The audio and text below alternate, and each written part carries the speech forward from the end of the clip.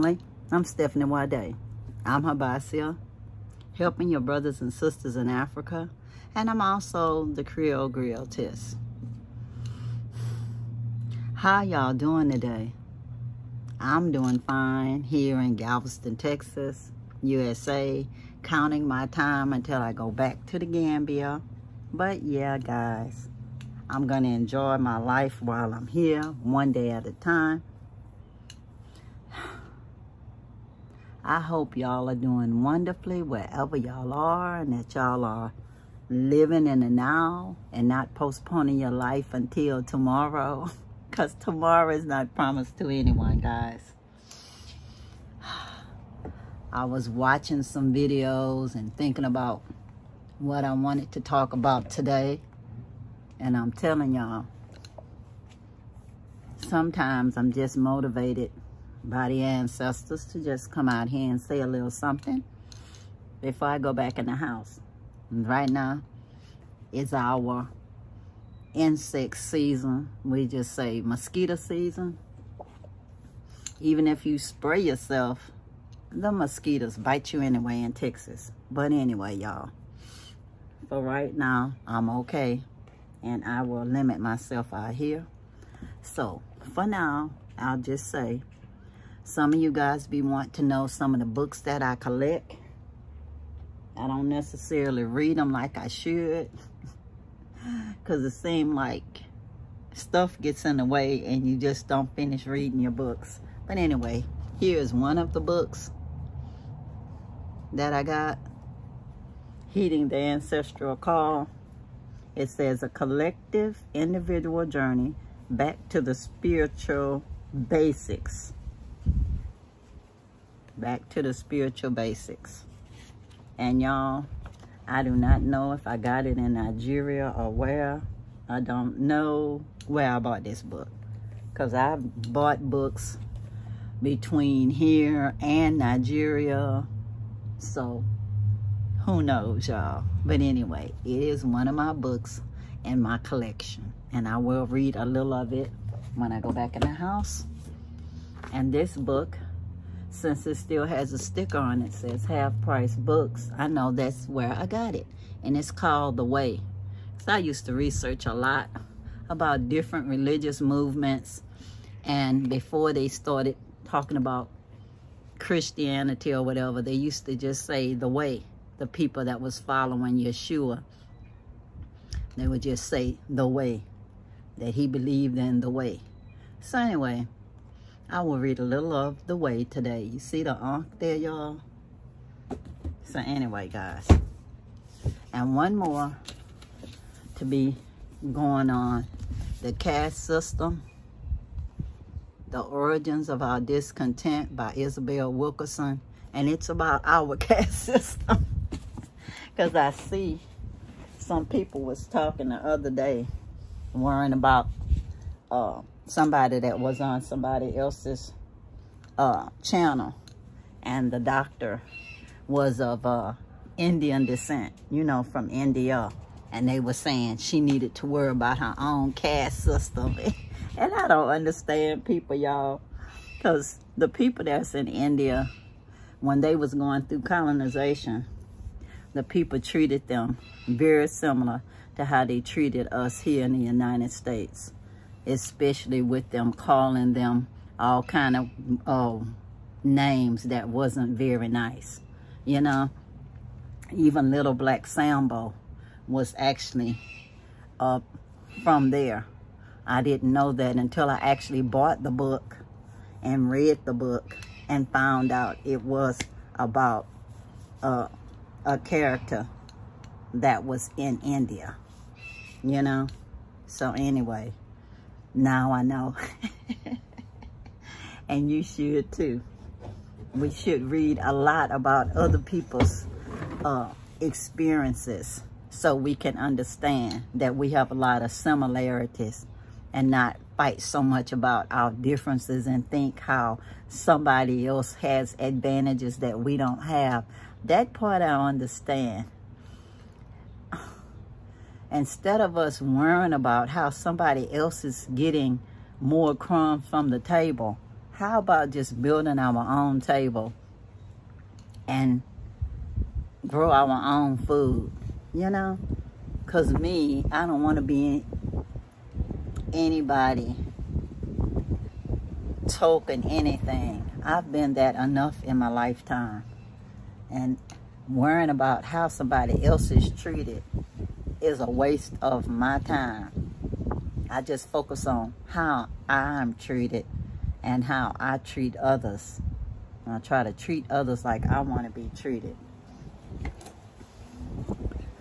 This is one of the things I got in Nigeria a long time ago. It's pretty. And it has some imperfections. It got broken along the way. So I never put it up because it has those imperfections. But I kept it because it could inspire me to create something else. No matter what. Whether it's another, or whether it's a painting or something that'll turn out to be used inside of a, let's just say a quilt or something, you know? You just never know. Creativity is fluid, y'all. You know, very fluid. And I'm just up and moving about, so I will be a moving target for the insects, the mosquitoes. But anyway, y'all, um, I just wanted to say, as we try to decolonize our minds, we have to be very aware of how we treat each other. Because somebody actually came into my house the other day and started talking about Catholics in a derogatory way. And it's like, what's uncalled for? That person didn't even understand that the very house they were in was owned by a woman who was Catholic all her life until her death, my mother. In fact, the majority of my family started off as Catholic because we Creole. And you know those French, they they did uh, Catholicism. So if you was in Louisiana back in the day, and your family was enslaved, yeah, you grew up with Catholicism. And I tell you, I have nun uh, cousin and everything. And I remember her one day when I was talking to her on the phone. she told me, Stephanie, you're a Catholic and you're a Catholic till you die. Because I was telling her that I had started going to a United Methodist uh, church because I wanted to get uh, the single parent support group, the support group that did not exist at the Catholic church that I was going to, you know? And she just couldn't understand that concept. But I remember because of them, I was taken to the library and introduced to a whole new world. I went to uh, light opera and everything. So I was exposed to a lot of different things because of the nuns. And I had a good education because of them. And when I went from uh, private school, which was Catholic school, to public school, I was advanced among a lot of the, the uh, children there. And so, as I'm an adult now, I respect all people's rights to believe whatever they want to believe, y'all. We have a right of self-determination. Whatever religion we want to believe in or not believe in any at all. Whatever spiritual practices we uh, do or don't do is our own right. And I would never go in somebody's house loosey-goosey, loose lips saying derogatory stuff about someone's religion. Even if I'm talking to somebody and they say stuff about other folks' religions, I would tell them that everybody has a right to believe whatever they, they want. I'm not planning on converting to anything. I'm just a spiritual person. But you can believe me that I will not make fun of your religion. And I don't appreciate other folks saying negative stuff about anybody's religion either. You won't hear me laughing with them about it. And it just depends on what's going on, on if I will start saying stuff to them directly. I'll just make a video and know they gonna read it.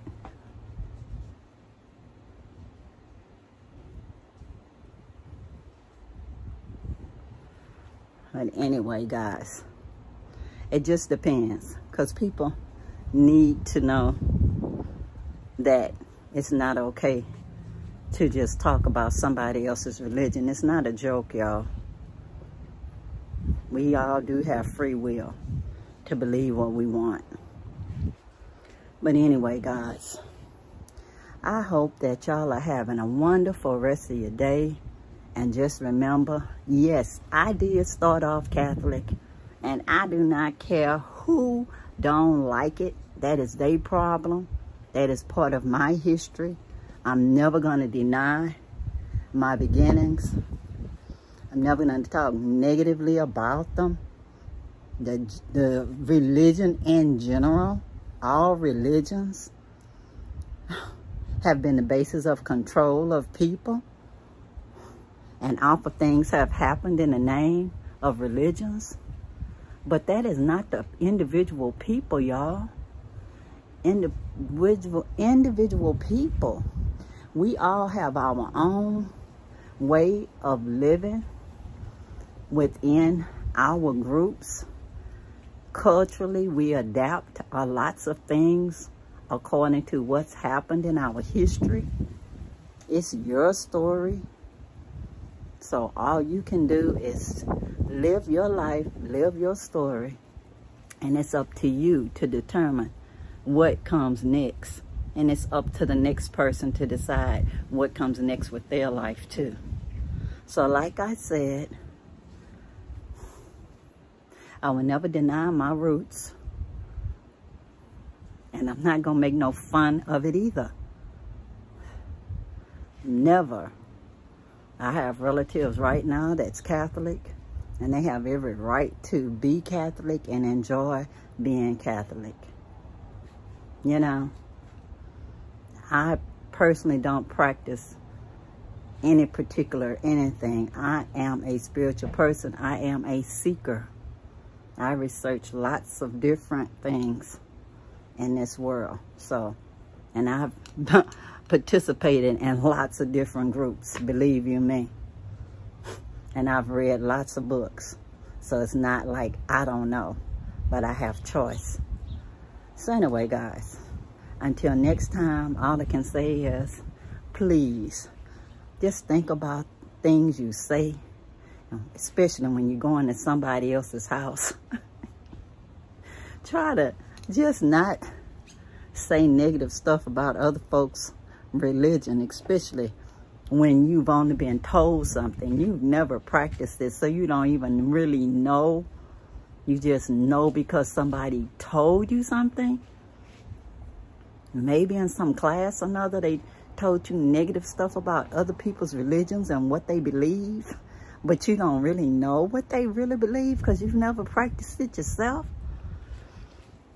But anyway, y'all, until next time, just checking in, just having my say on acknowledging everybody's rights to have their own say, their own history, their own belief system. Till next time, y'all. Peace, peace, power to the people. And I'm out, y'all. Bye.